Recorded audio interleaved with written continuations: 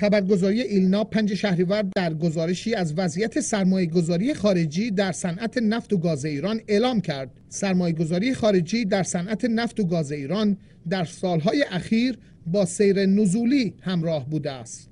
به گزارش آن خبرگزاری در سال گذشته تنها 17.5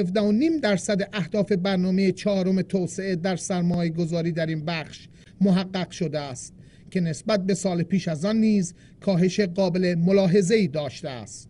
بر اساس این گزارش در سالهای اخیر سهم سرمایه گذاری داخلی در صنعت نفت و گاز همواره رشد داشته و حتی به بیش از 100 درصد نیز رسیده است. ولی در سال گذشته وزارت نفت ایران تنها توانسته است یک میلیارد و 517 میلیون و 400 هزار دلار سرمایه خارجی جذب این صنعت کند. این رقم در سال 84 سال آغازین دولت نهم 4 میلیارد و 222 میلیون و 600 هزار دلار بوده است که 79 ممیز 6 دهم درصد اهداف برنامه چهارم را محقق می کرده است. این در حالی است که حجت الله قنیمی فرد معاون امور سرمایه گذاری شرکت نفت روز 31 مرداد در گفتگو با خبرگزار اقتصادی خبرگزاری فارس و در واکنش به یک خبر منتشر شده در یک روزنامه چینی مبنی بر کاهش تمایل شرکت های خارجی برای سرمایه گذاری در صنعت نفت و گاز ایران گفت با توجه به مذاکراتی که با طرف های علاقمند به سرمایه گذاری و تأمین کنندگان مالی برای پروژه های مختلف بالادستی و پایین دستی صورت گرفته است تمام ادعاهای این چنینی تکذیب می شود.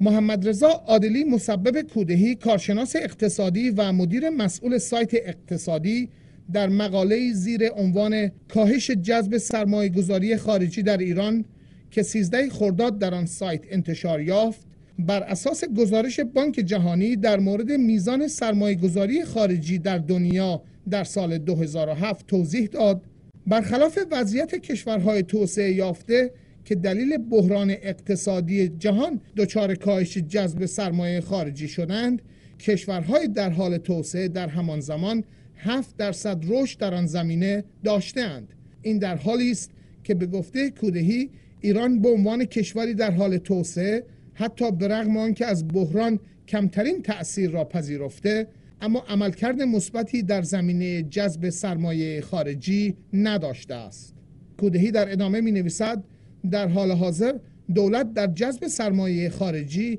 نه تنها مطابق با اهداف برنامه چهارم عمل نکرده است بلکه بسیاری از گزارش های منتشر شده مبنی بر جذب سرمایه خارجی در حد موافقت نامه باقی مانده است. پس از تدوین قانون جلب و حمایت از سرمایه گذاری خارجی در سال 1382 توسط دولت وقت و تصویب آن در مجلس آن قانون به عنوان یکی از منابع مالی تأمین پروژه های عمرانی کشور در دستور کار دولت قرار گرفت که به عقد بیش از یک میلیارد دلار موافقت نامه انجامید که همگی در سال بعد به اجرا گذاشته شدند. ولی کودهی تصریح کرد که روند درخواست سرمایه گذاری خارجی بر مبنای قانون تصویبی در سال 1382 که به خصوص در بخش نفت بسیار بالا بود با روی کار آمدن دولت بعدی در سال 1384 ناگهان رو به افول گذاشت و حتی تقاضاها به حالت تعلیق درآمدند و برخی از سرمایه گذاران خارجی نیز مانند شرکت های اورینتال و توتال در حوزه نفت پس از پایان دوران فعالیت خود از ایران رفتند. این در حالی است که قنیمی فرد گفت تا کنون هیچ کدام از این قراردادها و برنامه های ایران در این خصوص نقض نشده و سرمایه گذاری در این مسیر با کاهش روبرو نبوده است. و افزود کشورهای غربی که در رأس آنها آمریکا قرار دارد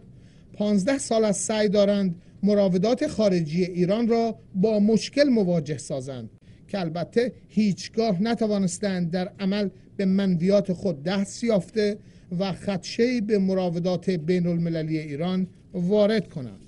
جذب سرمایه های خارجی در ایران به صورت انعقاد قراردادهای بیع متقابل و فایننس انجام می شود و دولت برای جبران کاهش سرمایه گذاری خارجی به جذب سرمایه های داخلی روی آورده است. اما گویا این راه نیز نتوانسته مشکلات سرمایه صنعت نفت و گاز را حل کند. به گونه ای که در گزارش ایلنا آمده است بسیاری از پیمانکاران معتقدند بحران تأمین مالی پروژه ها به صورت جدی اجرای طرحها در صنعت نفت و گاز را با مشکل مواجه کرده است